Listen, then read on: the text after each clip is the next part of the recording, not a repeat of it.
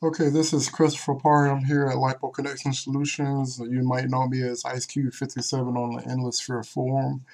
Um, I'm doing uh, battery testing and I just got done with the 15C graphene pack.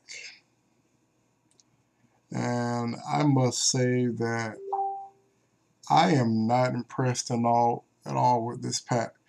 Um, I was would have thought that this would have been better than the multi-star, but it, it simply is. I don't think it is because I mean, one considering that they spent all of this money to put this battery pack in a nice box and case and everything, you would think that a cell of this quality would have uh, matched cells and everything, and um, the IR on these packs is just like all over the place. The IR on these packs would sit around um, 2 being the lowest, and it was like 2.2, 2.5, and then it was, the other one was like 3 and some change. And after every single discharge, it kept climbing. So when you look at the discharge uh, charts for this pack, it was fine at 1C, and as I kept stepping up the amperage, you, you mean the IR got worse, the voltage spread got worse, the performance of the pack got worse. And so this is a 15C pack, and it has 14 gauge wires on there, but yet uh, Turnigy Multi-Star has like I believe uh, 10 gauge 10 gauge leads on it. So if these both are the same C pack, then why aren't, you know, why aren't they equal? I mean, like, I mean, I know this is uh, uh, apples and oranges type thing, but, you know, here it is. We have a graphene pack and it has 10 gauge wire on it and it's 65C. Uh, so I think, like I said, the multi-star has 10 gauge too and it's uh, 10C. So why does this 15C graphene pack have 10 gauge wire? I think it's like I don't know, it's like they knew this was a piece of shit. And like I've been on the forums and I've seen multiple versions of, of this pack, you know, for sale or for resale where somebody bought it and, you know, and sold it immediately. But, you know, unlike this other graphene pack, you know, it was okay at 1C, but the harder the harder I pushed this pack, the more the lower the IR got and the better it, you know, the better it performed. I know that this is a 65C pack and this is a 15C, so I, am not expecting the same performers, but I mean, they're in the same series and you're hyping this stuff up. And, you know, the one cell that did perform okay in it, you know, it was, it was okay. I'm to try to, with the, with the uh, data that I have, I'm to try to show a comparison, at least of that one good cell. But do I think that you know, this is worth the money right now. You know, is this a step up from the multi-star? Because they do have larger versions of this pack. And I'm like, I'm not seeing it there because like I said, there's there was already two bad sales in this pack. I mean, I wouldn't even say there were two bad sales. They actually performed fine at 1C. Anything past that, they just started drifting and they were performing all right at 5C and possibly 10C but anything past that, they just, you know, they really, you know, they really started suffering. And, and the thing is, my thing about this is, you know, the pack is still quite firm. Okay, I'll understand if I was pushing this pack super hard and it bloated up, but this pack is still is still firm, you know. But the IR on that one one cell. I mean, as soon as I put like a, I mean, again, I know I'm pushing these cells hard, but as soon as I put a 50 amp load on it, it dropped.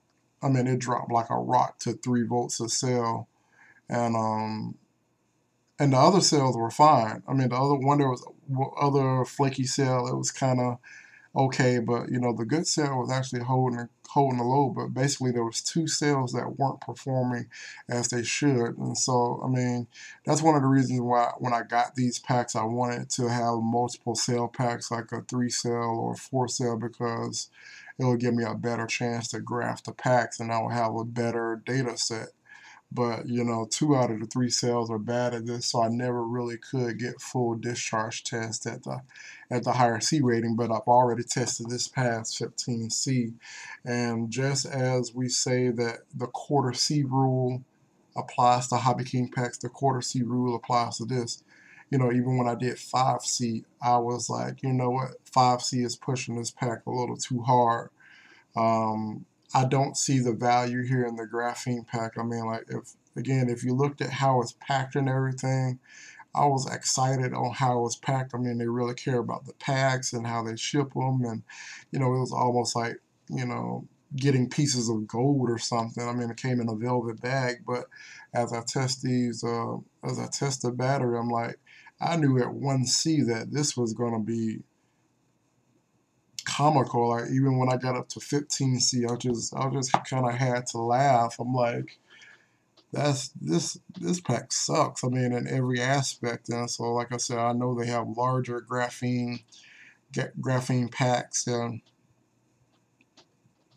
I'm, I'm still with the multi-star as a 16 amp hour multi-star over graphene you know, considering out the gate that I barely put five cycles on this pack and it's pretty much garbage. I mean, like I said, I can use it at 1C as like, you know, uh, you know, a cell phone charger pack or whatever, but, you know, this pack is ruined, you know, because like I said, the, the IR like was at 9. It was like 3, 3 on the, 3 on the lower cells that were still kind of perform okay, but the worst, the worst uh, pack I mean, the worst cell in this pack actually when it got done charging, it had a IR of 9 and that is no good for e-bike. And again i'm like i'm kind of biased. I really wanted to root for this pack but you know as it stands right out the gate you know i could technically file a warranty claim on this but then again i was abusing the shit out of it. So i mean i did push it past its claim c rating and everything. And like i said you know it is you know we have to uh, do this in the name of science and all of that but you know, after, even after I would say, what was it, the 20C discharge, the the 15C and the 20C discharge, I was like, something is going on, going wrong here, especially when I saw that rainbow curve where it sunk like a rock and recovered a little bit and then sunk again. And it didn't give anywhere near full capacity. I think it was giving like 2200 at that point. But again, that's because it's discharging the lower cell. And once that lower cell hits 3 volts, then you know it, it, it, cuts the discharge. So the one good cell in that packet probably performed okay. I need to, like I said, do the overlay charts at least on that good cell, and I may have to do it at like you know the 15C rating compare and compare it to some of the other cells that I I tested. But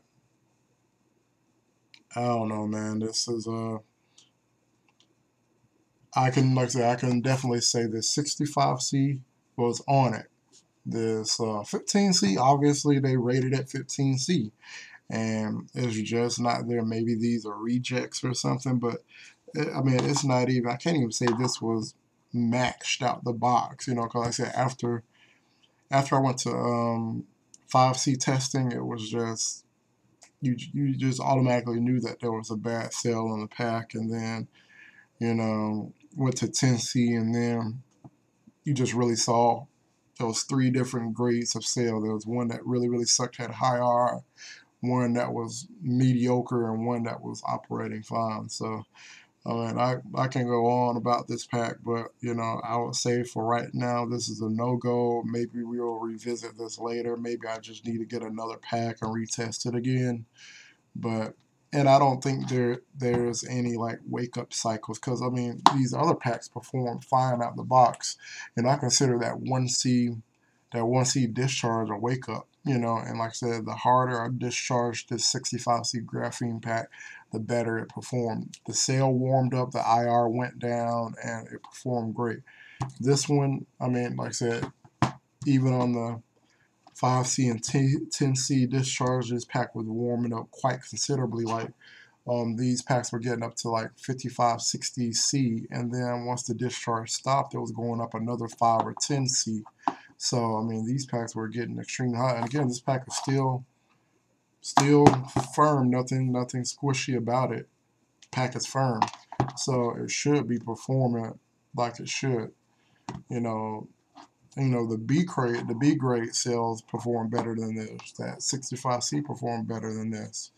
Um, you know, right now I'm looking at the uh, multi-star performing better than this. So um, I'm gonna go ahead and wrap this up.